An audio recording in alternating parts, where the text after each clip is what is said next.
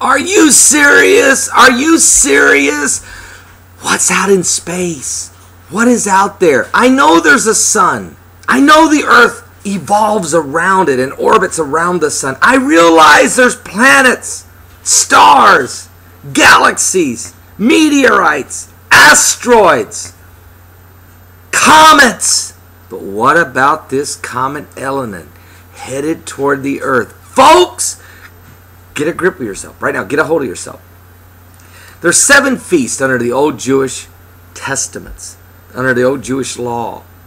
And one of those feasts is the Feast of the Trumpets. You, know, you understand there's the Feast of the Passover. That's when they came out of Egypt. You understand it was the Feast of the Unleavened Bread. That was in recognition to the bread they ate. And of course, that refers to Christ as well, being the bread of heaven.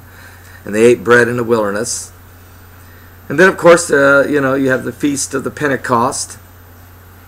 And uh, you have the uh, Feast of the of the uh, atonement, feast of the tabernacles. All the seven there's seven feasts, but the feast of the trumpets. Do you realize that the comet Elenin was not even discovered until what? December the 10th of 2010? We've only known about this thing 6 months, folks. It's coming. It's on its way. And right in the middle of the feast of the trumpets, it is going to come through and get in between the earth and the sun, and they say it's going to block the sun. How much? I don't know. How many asteroids are with it? We don't know. Will there be any implementation? Will there be some type of uh, magnetic pull? Will the poles shift? Will there be some type of pull of gravity that creates earthquakes and, and tsunamis and volcanoes and hurricanes and tornadoes and cyclones and mudslides. I mean, forest fires. What's going to go on?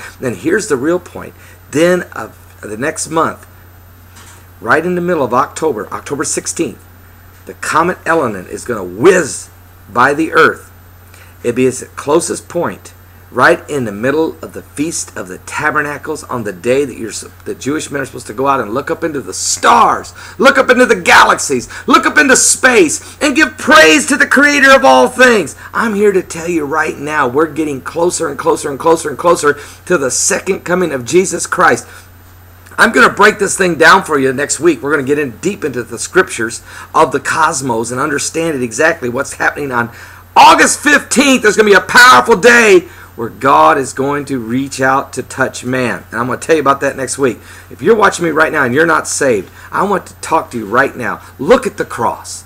Turn to the cross at Calvary. Look to Jesus Christ. Fall out from sin. Repent of your sins. Give Jesus your heart. Do it right now. Send me a personal message right here on YouTube saying, I want to be saved. Send it to me right now. I want to be saved. Paul, I want to be saved. I will pray with you.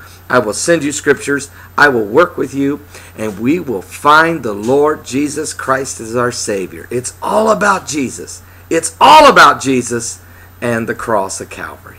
God bless you, and we love you. In Jesus' name.